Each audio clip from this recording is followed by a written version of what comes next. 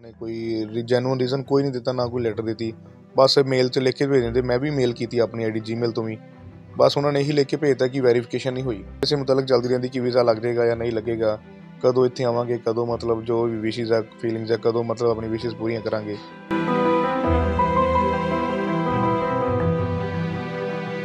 ਮੰਗ ਇਹੀ, ਅਪੀਲ ਤੇ ਮੇਰੀ ਇਹੀ ਹੈ ਕਿ ਇੰਡੀਅਨ ਗਵਰਨਮੈਂਟ ਨੂੰ ਕਿ ਵੀਜ਼ਾ ਜਲਦੀ ਤੋਂ ਜਲਦੀ ਦਿੱਤਾ ਜਾਏ, ਜਦੋਂ ਫਾਈਲਿੰਗ ਹੁੰਦੀ ਹੈ ਦੋ ਕੁ ਵਾਰ ਵੀ ਭੇਜਿਆ, ਉਹਨਾਂ ਨੂੰ ਸਪਾਂਸਰ ਕੀਤਾ ਆ।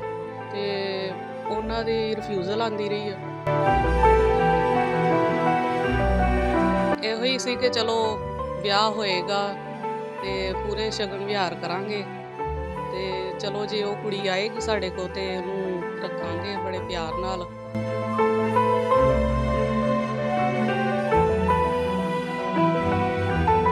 ਭਾਰਤ ਤੇ ਪਾਕਿਸਤਾਨ ਬੇਸ਼ੱਕ ਇੱਕ ਦੂਜੇ ਦੇ ਗਵਾਂਢੀ ਮੁਲਕ ਨੇ।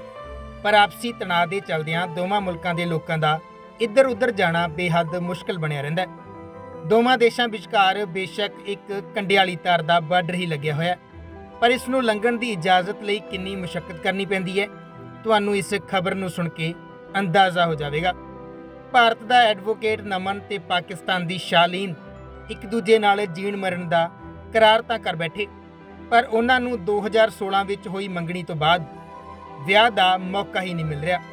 ਦਰਅਸਲ ਨਮਨ ਲੂਥਰਾ ਦੇ ਨਾਨਕੇ ਪਾਕਿਸਤਾਨ ਦੇ ਲਾਹੌਰ ਵਿੱਚ ਨੇ। ਉਹ 2015 ਵਿੱਚ ਆਪਣੇ ਨਾਨਕੇ ਗਿਆ ਸੀ, ਜਿੱਥੇ ਉਸ ਨੂੰ ਸ਼ਾਲੀਨ ਪਸੰਦ ਆ ਗਈ।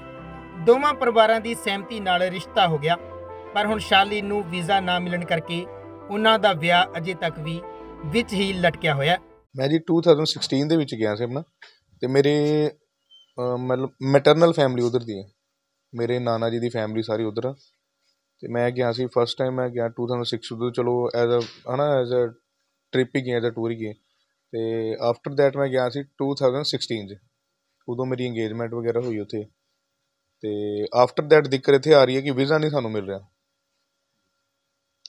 ਤੇ ਵੀਜ਼ਾ ਉਹਨਾਂ ਨੂੰ ਨਹੀਂ ਮਿਲ ਰਿਹਾ ਉਹਨਾਂ ਨੇ ਇੱਥੇ ਆਣਾ ਮਤਲਬ ਵੈਡਿੰਗ ਫੰਕਸ਼ਨ ਕਰਨ ਇੱਥੇ ਆਣਾ ਤੇ ਜਿੱਦਾਂ ਵੀ ਸਾਡੇ ਰਿਚੁਅਲਸ ਹੋਣਗੇ ਰੀਤੀ ਰਿਵਾਜ ਹੋਣਗੇ ਇੱਥੇ ਅਸੀਂ ਕਰਾਂਗੇ ਤੇ ਉਹਨਾਂ ਨੇ ਇੱਥੇ ਆਣਾ ਤੇ ਇੱਕ ਵਾਰ ਰਿਫਿਊਜ਼ ਹੋਇਆ ਦੂਸਰੀ ਵਾਰ ਵੀ ਰਿਫਿਊਜ਼ ਹੈ ਹੁਣ ਥਰਡ ਟਾਈਮ ਸਪਾਂਸਰ ਲੈਟਰ ਭੇਜੇ ਦੇ ਆ ਤੇ ਦੇਖੋ ਕੀ ਬੰਦਾ ਤੁਸੀਂ ਜਿਹੜਾ ਵਿਦਿਆ ਤੁਹਾਡਾ ਵਿਦਿਆ ਕਿੰਨੇ ਸਾਲ ਹੋ ਗਏ ਤੁਹਾਨੂੰ ਵੀ ਕਰਦੇ ਹੋ 7 ਸਾਲ। ਤੇ ਉਹ ਉਹ ਪੜ੍ਹਦੇ ਨੇ? ਹਾਂਜੀ ਸਟੱਡੀ ਕੰਪਲੀਟ ਹੋ ਗਈ। ਕਿਸ ਦੀ ਐਚਐਮ ਹੋਟਲ ਮੈਨੇਜਮੈਂਟ ਤੁਸੀਂ? ਮੈਂ ਐਜ਼ ਐਨ ਐਡਵੋਕੇਟ ਇੱਥੇ ਪ੍ਰੈਕਟਿਸ ਕਰ ਰਿਹਾ ਕੋਰਟ ਕੋਈ ਕਾਰਨ ਦੱਸਦੇ ਨੇ ਕਿਉਂ ਰਿਫਿਊਜ਼ ਹੋ ਰਹੇ ਨੇ? ਨਹੀਂ ਅ, ਕੋਈ ਕੋਈ ਉਹਨਾਂ ਨੇ ਅ, ਉਹਨਾਂ ਨੇ ਕੋਈ ਜੈਨੂਇਨ ਰੀਜ਼ਨ ਕੋਈ ਨਹੀਂ ਦਿੱਤਾ ਨਾ ਕੋਈ ਲੈਟਰ ਦਿੱਤੀ। ਬਸ ਮੇਲ 'ਚ ਲਿਖ ਕੇ ਭੇਜ ਦਿੰਦੇ ਮੈਂ ਵੀ ਮੇਲ ਕੀਤੀ ਆਪਣੀ ਆਈਡੀ ਜੀਮੇਲ ਤੋਂ ਵੀ। ਬਸ ਉਹਨਾਂ ਨੇ ਇਹੀ ਲਿਖ ਕੇ ਭੇਜਤਾ ਕਿ ਵੈਰੀਫਿਕੇਸ਼ਨ ਨਹੀਂ ਹੋਈ। ਜਦੋਂ ਕਿ ਇੱਥੋਂ ਸਾਰੀ ਇਨਵੈਸਟੀਗੇਸ਼ਨ ਸੀਆਈਡੀ ਤੋਂ ਵੀ ਹੋ ਜਾਂਦੀ ਹੈ ਪੁਲਿਸ ਸਟੇਸ਼ਨ ਤੋਂ ਵੀ ਹੋ ਜਾਂਦੀ ਹੈ ਸਾਰਾ ਕੁਝ ਵੈਰੀਫਿਕੇਸ਼ਨ ਹੁੰਦਾ ਵੈਰੀਫਾਈ ਹੋ ਜਾਂਦਾ ਤਾਂ ਵੀ ਕੋਈ ਪ੍ਰੋਬਲਮ ਆ ਰਹੀ ਪਤਾ ਨਹੀਂ ਕੀ ਪ੍ਰੋਬਲਮ ਤੁਹਾਡੇ ਲਈ ਲੱਗ ਰਹੀ ਹੈ ਕਿ ਉਧਰੋਂ ਲੱਗ ਰਹੀ ਮੇਰੇ ਖਿਆਲ ਨਾਲ ਇੰਡੀਅਨ ਐਮਬੈਸੀ ਆਬਜੈਕਸ਼ਨ ਕਰ ਰਹੀ ਹੈ। ਹੈ ਕਾਰਨ ਕੋਈ ਪਤਾ ਜੀ ਕੋਈ ਕੋਈ ਰੀਜ਼ਨ ਨਹੀਂ ਕੋਈ ਰੀਜ਼ਨ ਨਹੀਂ ਕੋਈ ਕਾਰਨ ਨਹੀਂ। ਤੁਸੀਂ ਕੀ ਸਮਝਦੇ ਹੋ ਕਿਉਂ ਨਹੀਂ ਫਿਰ ਵੀਜ਼ਾ ਲਗਾ ਕੁਝ ਪਤਾ ਨਹੀਂ ਹੈ ਇਹ 'ਚ ਜੇ ਤੇ ਉਹ ਸਾਨੂੰ ਕਹਿ ਰਹੇ ਕਿ ਤੁਸੀਂ ਆ ਜਾਓ ਪਾਕਿਸਤਾਨ ਐਮਬੈਸੀ ਕੋਈ ਮਤਲਬ ਤੁਹਾਨੂੰ ਦਿੱਕਤ ਨਹੀਂ ਆਏਗੀ ਵੀ ਆਉਣ 'ਚ ਤੇ। ਪਰ ਅਸੀਂ ਤੇ ਉਦੋਂ ਜਾਵਾਂਗੇ ਜਦੋਂ ਉਹਨਾਂ ਦਾ ਵੀਜ਼ਾ ਆਏਗਾ। ਸਾਨੂੰ ਫਾਇਦਾ ਤਾਂ ਹੀ ਹੈ ਬੈਨੀਫਿਟ ਤਾਂ ਹੀ ਹੈ ਜੇ ਉਹਨਾਂ ਨੂੰ ਵੀਜ਼ਾ ਲੱਗਾ ਹੋਏ ਕਿ ਅਸੀਂ ਜਾਈਏ ਤਾਂ ਉਹਨਾਂ ਨੂੰ ਵਾਪਸ ਨਾਲ ਲੈ ਆਈਏ ਤੇ ਮੈਰਿਜ ਕਰਕੇ। ਇੱਕ ਦਿਨ ਤੇ ਜਦੋਂ ਰਿਫਿਊਜ਼ਲ ਆ ਜਾਂਦੀ ਹੈ ਇੰਨਾ ਸਮਾਂ ਲੰਘ ਗਿਆ ਵਿਆਹ ਬੜਾ ਹਰਟ ਹੁੰਦਾ ਹੁਣ ਮੈਂ ਕੀ ਦੱਸਾਂ ਮੈਨੂੰ I have no words to say ਮੈਨੂੰ ਕੋਈ ਵਰਡਸ ਹੈ ਨਹੀਂ ਦੱਸਣ ਨੂੰ ਵੀ।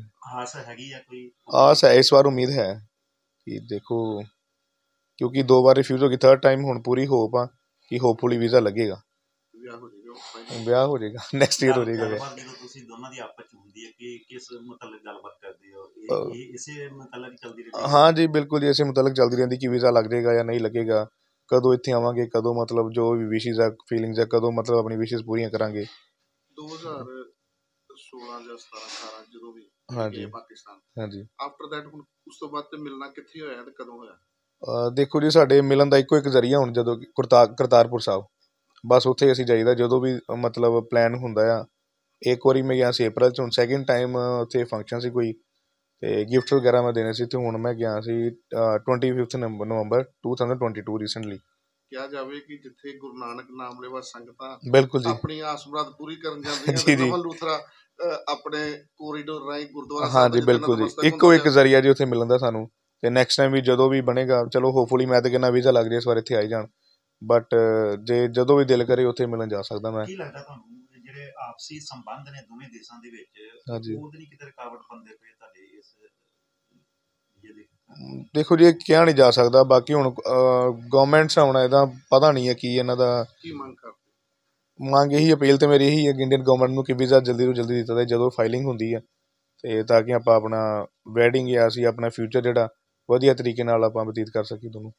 ਨਮਨ ਦੀ ਮਾਤਾ ਯੋਗਿਤਾ ਲੂਥਰਾ ਨੇ ਦੱਸਿਆ ਕਿ ਉਹ ਆਪ ਵੀ ਲਾਹੌਰ ਤੋਂ ਵਿਆਹ ਕੇ ਭਾਰਤ ਆਏ ਸਨ। ਹੁਣ ਉਹਨਾਂ ਦੇ ਪੁੱਤਰ ਦਾ ਵੀ ਰਿਸ਼ਤਾ ਲਾਹੌਰ ਹੋਇਆ ਪਰ ਵੀਜ਼ਾ ਨਾ ਮਿਲਣ ਕਰਕੇ ਉਹਨਾਂ ਦੇ ਚਾਅ ਅਧੂਰੇ ਪਏ ਨੇ।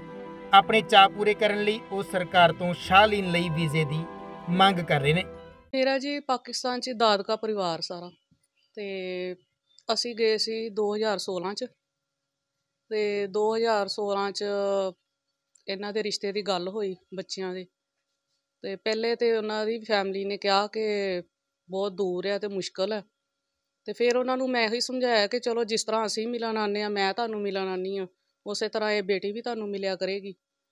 ਤੇ ਫਿਰ ਉਹ ਮੰਨ ਗਏ ਤੇ ਇਸੇ ਤਰ੍ਹਾਂ ਗੱਲਬਾਤ ਹੋਈ ਤੇ ਇਹਨਾਂ ਦਾ ਰਿਸ਼ਤਾ ਪੱਕਾ ਕੀਤਾ ਫਿਰ ਅਸੀਂ। ਹੁਣ ਦਿੱਕਤ ਕਿੱਥੇ ਆਉਂਦੀ ਹੈ ਦਿੱਕਤ ਇਹੀ ਆ ਕਿ ਦੋ ਕੁ ਵਾਰੀ ਭੇਜਿਆ ਉਹਨਾਂ ਨੂੰ ਸਪਾਂਸਰ ਕੀਤਾ ਆ ਤੇ ਉਹਨਾਂ ਦੀ ਰਿਫਿਊਜ਼ਲ ਆਂਦੀ ਰਹੀ ਆ।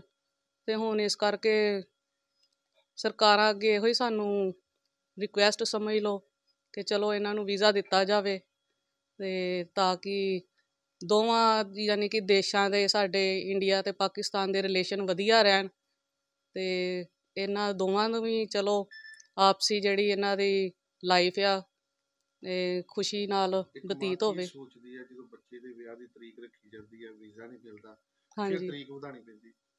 ਫਿਰ ਤੇ ਤੁਹਾਨੂੰ ਪਤਾ ਮਾਯੂਸੀ ਹੁੰਦੀ ਹੈ ਕੀ ਕੁਛ ਸੋਚਿਆ ਸੀ ਜਦੋਂ ਇਹਨਾਂ ਦਾ ਰਿਸ਼ਤਾ ਹੋ ਗਿਆ? ਹਾਂਜੀ। ਤੁਹਾਨੂੰ ਲੱਗਾ ਕਿ ਹੁਣ ਮੈਂ ਆਪਣੇ ਪੁੱਤਰ ਦਾ ਵਿਆਹ ਕਰਾਂਗੀ। ਕਿਹੜੀਆਂ ਕਿਹੜੀਆਂ ਖੁਆਇਸ਼ਾਂ ਮਨ 'ਚ ਸੀ ਜਿਹੜੀਆਂ ਹਾਲੇ ਵੀ ਦੱਬੀਆਂ ਪਈਆਂ ਨੇ?